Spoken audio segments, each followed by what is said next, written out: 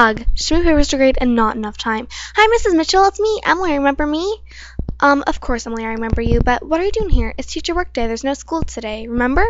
What? No school today? No! What's wrong? I need schoolwork. I need schoolwork, please. Okay, go write an 8,000 word essay about pollution and have it done by the end of the week, please, okay? And you have all day to work on it, alright? Okay, thank you, Mrs. Mitchell. This is going to be so much fun. I love essays pollution. Well, I don't love pollution, but you know, I love the thought about cleaning up pollution. Alright, only 7,999 words to go. Thanks, Mrs. Mitchell. At least she didn't ask why I was in shorts. What was that? Nothing. Ugh. Three hours later. I'm done, Mrs. Mitchell. What? That's just taken a. No.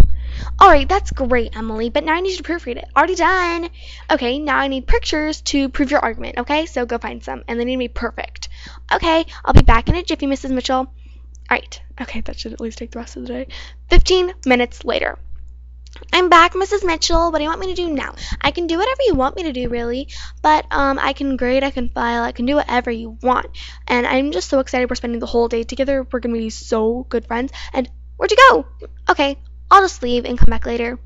Hallelujah! She's gone! Praise the Lord! There you are, Mrs. Mitchell. Oh no, Emily!